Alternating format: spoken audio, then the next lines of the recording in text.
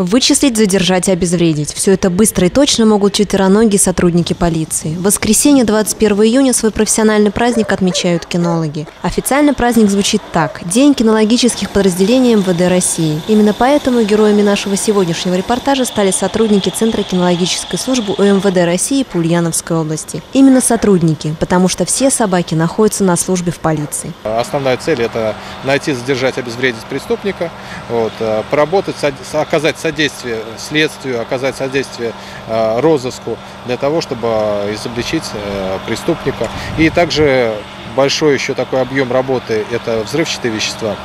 Взрывчатые вещества. То есть мы предотвращаем теракты, предотвращаем какие-то нежелательные ввоз наркотиков э, в область. Для того, чтобы воспитать служебную собаку, необходимо 5 месяцев как минимум. Собак тренируют до 10 раз в день, чтобы избежать ошибок при выполнении заданий. Только тогда, когда задание выполнено идеально, похвала от коллеги полицейского и отдых.